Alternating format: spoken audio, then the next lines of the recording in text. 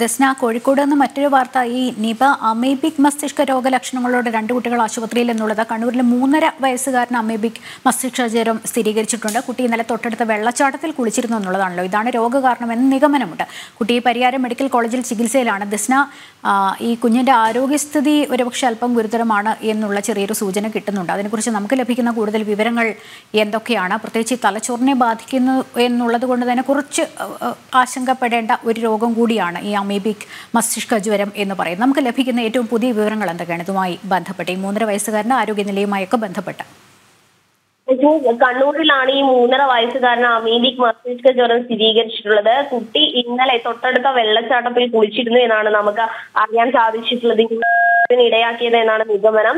കുട്ടി Pariyaram medical college ആശുപത്രിയിൽ ചികിത്സയിലാണ് എന്നൊരു വിവരമാണ് നമുക്ക് ഇപ്പോൾ ലഭ്യമായിട്ടുള്ളത്. കുട്ടിയുടെ ആരോഗ്യ നില നില കുറച്ച് ഗുരുതരമാണ് എന്നൊരു വിവരമാണ് നമുക്ക് നിലവിൽ ലഭ്യമായിട്ടുള്ളത്. എന്തായാലും ആരോഗ്യ വകുപ്പിന്റെ നേതൃത്വത്തിൽ അവിടെ ഈ കുട്ടി കുളിച്ചു എന്ന് കരുതപ്പെടുന്ന കുളത്തിൽ കുട്ടിയും വലിയൊരു രീതിയിലുള്ള സുരക്ഷാ ക്രമീകരണങ്ങൾ ഒരുക്കിയിട്ടുണ്ട്. ആ കുളത്തിൽ മറ്റാരും ഇറങ്ങുവാൻ പാടില്ല എന്നൊരു നിർദ്ദേശം ഒക്കെ തന്നെയും ഒക്കെ തന്നെയും പുറപ്പെടുവിച്ചിട്ടുണ്ട്. നമുക്കറിയാം ചെറിയ കുട്ടിയാണ് ചെറിയ കുട്ടിയാണ് മൂന്നര വയസ്സുകാരനാണ്.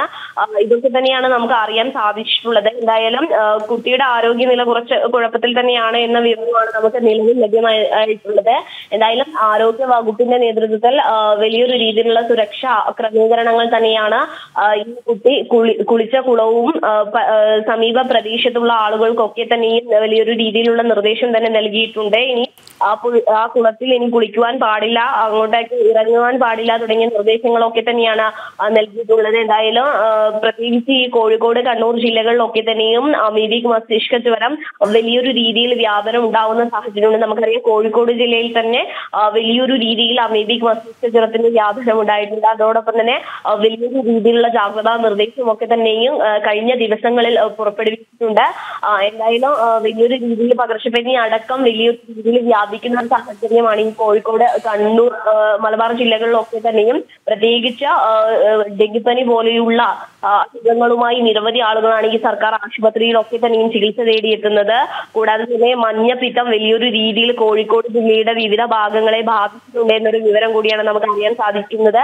എന്തായാലും മഴക്കാല പൂർവകാല ശുചീകരണവുമായി ബന്ധപ്പെട്ട് വലിയൊരു രീതിയിൽ വ്യാപനമായ വൈറസ് ഉയർന്നു വരുന്ന ഒരു സാഹചര്യമൊക്കെ ഉണ്ടായിരുന്നു ലക്ഷ്മി. എന്തായാലും ഇപ്പോൾ നമുക്ക് അറിയാൻ സാധിച്ചത് ഈ കുട്ടി ഇപ്പോഴും ചികിത്സയിൽ തുടരുകയാണ്. ഇനി നമ്മളൊക്കെ കാത്തിരിക്കുന്നത് ഈ നിപ്പ അതായത് കോഴിക്കോട് ജില്ലയിൽ നിപ്പ ഉണ്ടെന്ന് സംശയിക്കുന്ന കുട്ടിയുടെ സ്രവ സാമ്പിളുകളുടെ പരിശോധനാ ഫലം വരുവാനാണ്. പരിശോധനാ ഫലം വന്നതിന് ശേഷമാണ് നമുക്ക് ഇതുമായി ബന്ധപ്പെട്ട കൂടുതൽ വിവരങ്ങൾ ലഭ്യമാവുക കണ്ണൂരിൽ അമീബിക് മസ്തിഷ്ക ജ്വരം മൂന്നര വയസ്സിനൊപ്പം തന്നെ കോഴിക്കോട് നിപ ബാധ എന്ന സംശയം. എന്തായാലും കുട്ടി രോഗലക്ഷണങ്ങളോടെ ആശുപത്രിയിലാണ്.